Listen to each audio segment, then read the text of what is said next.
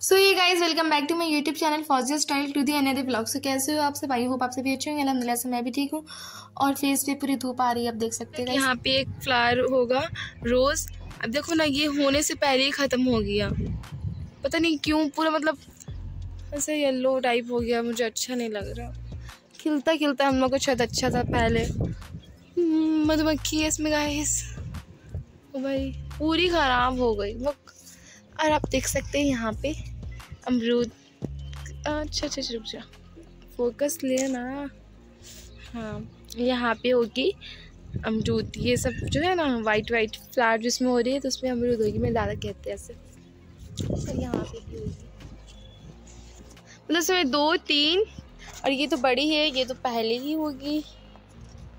और यहाँ ये तो पूरी सूख गई है। इसमें से मैं तीन अमरूद तोड़ के खाई थी गाइस ये जल्द से जल्द ज़िंदा हो जाए। सिर्फ़ पानी देना पड़ेगा मुझे लग रहा है। परसों ही तो दिए थे। रोज़ देना चाहिए क्या? चांदनी! और कजरी! सो गाइज़ वो है चांदनी, वो है कजरी।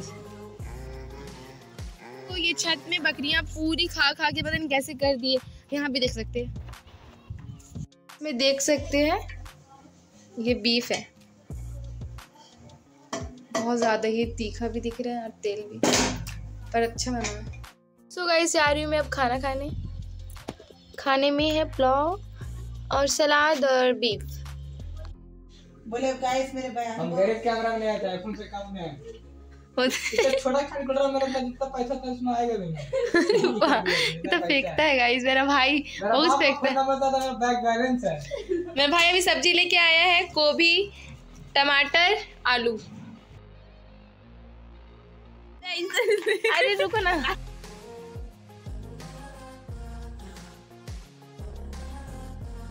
सो गाइज़ ये मेरी छत से इतनी ब्यूटीफुल से व्यू आ रही तो मैं सोची थोड़ा सा इसका भी क्लिप ले लेती हूँ। और ये मेरी छत से शाम के टाइम का है, अभी मगरिब का टाइम है मतलब छः छः बजे के करीब का ये।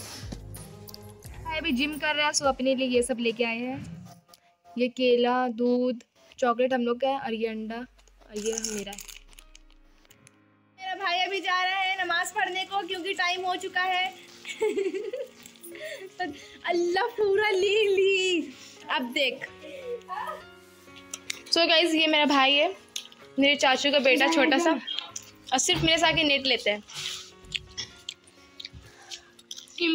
तो गाइज़ कल के ब्लॉग ज़रूर देखना क्योंकि कल के ब्लॉग में बहुत